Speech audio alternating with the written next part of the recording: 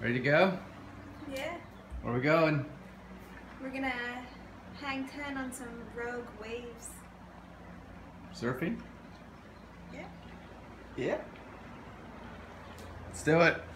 We'll see. This is gonna be an experiment.